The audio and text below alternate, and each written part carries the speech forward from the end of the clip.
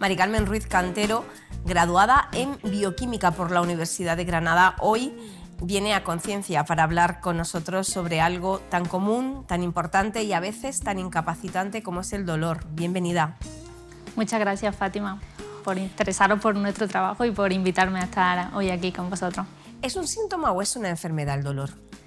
Pues hasta hace poco se consideraba que era solo un síntoma, pero realmente es una enfermedad. Eh, incluso hay mm, un tipo de dolor, que es el dolor crónico, que eh, se extiende bastante en el tiempo, puede durar meses o incluso años. Y, realmente esto necesitamos paliarlo con, fármacos porque eh, incapacita mucho la calidad de vida de los pacientes.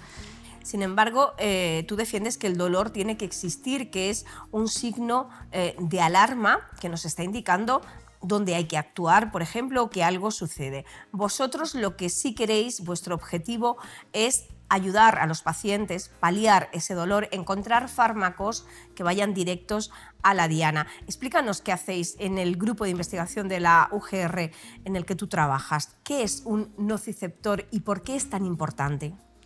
Vale, pues así de manera simplificada nosotros pues estudiamos cómo percibimos los distintos tipos de sensaciones, como puede ser eh, el tacto, la, presión, la temperatura, ya sea eh, el frío o, el calor. Y bueno, de esto se encargan las terminales nerviosas y cada una de ellas pues especializada en, en una sensación de estas que comentaba. Y dentro de toda esta variedad nos encontramos los nociceptores que comentaba, que son los que detectan las sensaciones de dolor. Es decir, por ejemplo, cuando alguien no hace alguna caricia, eh, esto lo codifican neuronas sensoriales, pero no son las mismas que cuando tocamos pues, una olla que, está hirviendo. ¿no? En este caso la señal es muy intensa y va a activar a estos nociceptores que comentamos que son los encargados de percibir el dolor. Porque no es lo mismo el dolor que sientes cuando te caes y te clavas una, pierna, o sea, una piedra en una rodilla, por ejemplo, que cuando tú mm, comentabas el dolor que se siente cuando te quemas, eh, cuando algo hirviendo se clava en tu piel. Es muy diferente cómo eh, se percibe cada dolor y por lo tanto hay que aplicar diferentes fármacos. Sí, efectivamente, hay muchos tipos de, dolor. Eh, el origen puede ser diferente y por tanto eh, el tratamiento farmacológico y bueno eh, si el origen es diferente la base fisiológica va a ser distinta ¿no? y el tratamiento farmacológico debería ser diferente no es lo mismo en este caso pues una artritis que o el dolor que se produce con un daño tisular directo, como por ejemplo después de una cirugía. ¿no?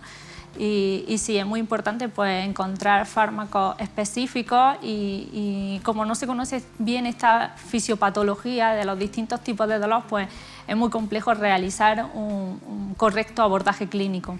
Tomamos eh, muchos fármacos para el dolor, para los diferentes tipos de dolor, como estamos viendo. Sin embargo, nuestro cuerpo es capaz de alguna manera, de forma natural, eh, de frenar el dolor que sentimos. Vamos a la investigación eh, y al hallazgo que acabas de encontrar y que has publicado en la revista British Journal Pharmacology. ¿En qué consiste? ¿Qué hace eh, nuestro cuerpo para frenar el dolor? Pues sí, efectivamente, como comenta Fátima, en el dolor crónico se producen sustancias químicas que eh, van a estimular, van a activar a estos nociceptores de los que hemos hablado y lo que van a hacer es que van a, incrementar su actividad en gran medida. Eh, estos nociceptores, cuando están sensibilizados... ¿A qué te refieres con sensibilizados? Pues con sensibilización me refiero a, por ejemplo, cuando nos quemamos, ¿no? que cualquier estímulo nos duele. por ejemplo, el simple roce de una sábana aunque el estímulo no sea muy intenso, va a hacer que los nociceptores transmiten esta sensación como dolorosa y eso es porque están sensibilizados. En otras circunstancias nos gustaría incluso a veces el roce de una sábana suave, pero cuando nos hemos quemado, por ejemplo, esos nociceptores lo que trasladan es una sensación de dolor, efectivamente. Efectivamente. De acuerdo, pues sigamos con el, con el estudio, con, con el hallazgo. Efectivamente, cuando estos nociceptores están sensibilizados, pues producen una, eh, una sustancia que se parece, eh, a, tiene los mismos efectos de alivio del dolor que la morfina. Se denomina endomorfina 2. Y, pero sin embargo, como digo, cuando están sensibilizados siguen transmitiendo esta, esta sensación de, de dolor. que la endomorfina realmente debería frenar esta sensación dolorosa, pero hemos visto que eh, su acción está frenada por una proteína, una pequeña proteína que se denomina receptor sigma 1. Y eh, hemos descubierto que el receptor, o sea, que el bloqueo de este receptor sigma 1 lo que va a hacer es que eh, va a frenar, o bueno, va a incrementar en gran medida la acción de la endomorfina 2 y para, frenar, para el frenar el dolor. Importantísimo hallazgo. Entonces, saber por qué, a pesar de que nosotros mismos producimos endomorfina para eh, atacar al dolor, no hace efecto y habéis encontrado la razón por la que no hace efecto. ¿Cómo llegáis hasta esta investigación? ¿Cómo surge esto? Pues bien, pues como me enseñó y siempre dice el profesor Enrique Cobos, que es el investigador principal de este proyecto, los fármacos son moduladores de nuestra fisiología, no actúan así porque sí, por arte de magia, sino que eh, tienen efecto porque nosotros tenemos unos sistemas fisiológicos en nuestro organismo y lo que hacen las moléculas del fármaco es que lo activan o lo inhiben. Pues bueno, en nuestro departamento de farmacología se ha estudiado desde hace eh, muchos años este receptor sigma 1 como diana terapéutica para el tratamiento del dolor, eh, dirigido por el profesor eh, José Manuel Valle, y en los años 90 ¿sí? se descubrió que el bloqueo de este receptor sigma 1 lo que hacía era incrementar la analgesia de la morfina. Y bien, la morfina funciona porque, como comentaba antes, nosotros también producimos eh, sustancias muy parecidas, opioides endógenos, como decía, a, la morfina. Exacto. y por eso funciona la morfina. Pues en este caso lo que hicimos es buscar unas circunstancias que nosotros produjéramos esos opioides endógenos y que el bloqueo de este receptor sigma 1 pudiera tener un efecto. Y ahí nos encontramos con las circunstancias en las que eh, los nociceptores eh, producían esta endomorfina 2, este opioide. ¿Cuáles son los retos del Departamento de Neurofarmacología del OGR en concreto, que es donde tú trabajas? Encontrar precisamente esos nuevos fármacos que ahora...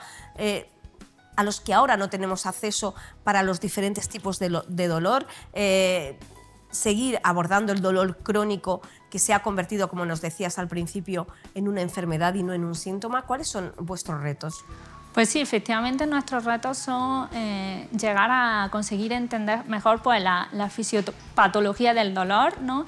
Eh, cómo funciona el mecanismo de, los fármacos que disponemos para así pues, encontrar nuevas dianas terapéuticas eh, y, bueno, mejorar también los fármacos que ya existen como decías, pues hay muchos tipos de, dolor y, es muy importante pues, eh, estudiar la, base de estos, la base fisiológica de estos dolores. Y bueno, nuestro objetivo final es llegar a, mejorar la calidad de vida de los pacientes, llegar a mejorar este tratamiento farmacológico. Hay una segunda parte y es eh, tu próximo proyecto en Barcelona a través de una beca eh, de Caixa para investigación. ¿En qué va a consistir? ¿Continúas con esta línea, entendemos? Sí, eso, eh, bueno, nos acaban de conceder, como bien comenta, este proyecto de la Caixa, que es en consorcio con, tres universidades, la Universidad de Barcelona, la Universidad de Catania y la Universidad de, Granada. Y bueno, nosotros lo que hacemos es que colaboramos con este grupo de Barcelona, el grupo de Santiago Vázquez y Eugenia Puyol, y es un, laboratorio de química médica y lo que estamos es pues, buscando eh, nuevas moléculas que tengan capacidad analgésica. Eh, nuestro objetivo pues, es conseguir moléculas que, tengan capacidad analgésica a eso iba ahora. Estáis en fase preclínica y habéis probado con roedores eh, la artritis y el posoperatorio. ¿Qué resultados ha dado? Pues hemos tenido que estas nuevas moléculas que estamos desarrollando en colaboración con la Universidad de Barcelona tienen un potente eh, acción analgésica y la verdad es que esperamos que, que lo antes posible pues, puedan llegar y mejorar la calidad de vida de estos pacientes, eh, por ejemplo, con artritis. Tú que también conoces eh, el dolor y cómo se aborda, eh, ¿crees que son ineficaces los fármacos actuales?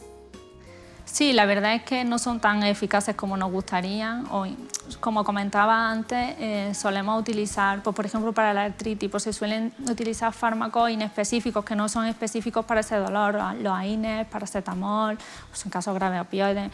Y bueno, pues también tienen muchos efectos secundarios. Entonces lo que, lo que intentamos es mejorar... Eh, pues, estos fármacos que tengan menos efectos secundarios y así pues, pues mejorar su eficacia también. Y que vayan a la diana exacta. Efectivamente, sí.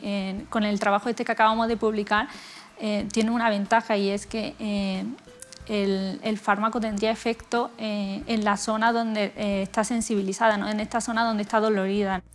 Mari Carmen Ruiz Cantero, interesantísimo todo lo que nos cuentas. Muchísima suerte en la segunda etapa de este proyecto y gracias por contarnos hoy en Conciencia lo que hacéis para mejorar la calidad de vida de todos nosotros al final, porque ¿quién no sufre dolor en algún pues, momento, de su vida o en algún momento del día? Gracias. Gracias a vosotras, muchísimas gracias.